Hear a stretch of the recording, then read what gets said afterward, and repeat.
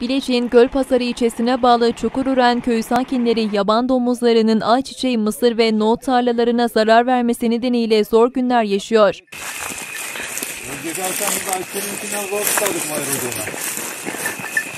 İlçe merkezine 5 kilometre mesafedeki köyde vatandaşlar tarlalarına zarar veren domuzlara karşı sırayla yatsı namazından sabahın erken saatlerine kadar nöbet tutuyor. Sürü gördüklerinde ellerini av tüfekleriyle havaya ateş açan köylüler domuzları korkutup kaçırmaya çalışıyor. Nohuttu.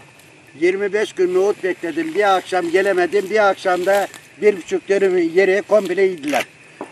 Köy muhtarı 75 yaşındaki Mustafa Şen arazilerde 25 gündür nöbet tuttuklarını söyledi. 25 gün şurada arazide yattım. Bir akşam oğlumun düğünü vardı. Düğüne gittim.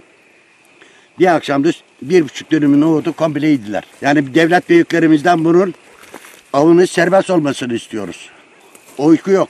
Ee, Eylül'ün 30'una kadar köylü bütün arazide. Ayçiçek beklemekte, nohut beklemekte, mısır beklemekte. Çiftçiler domuzlar nedeniyle büyük zarara uğruyor.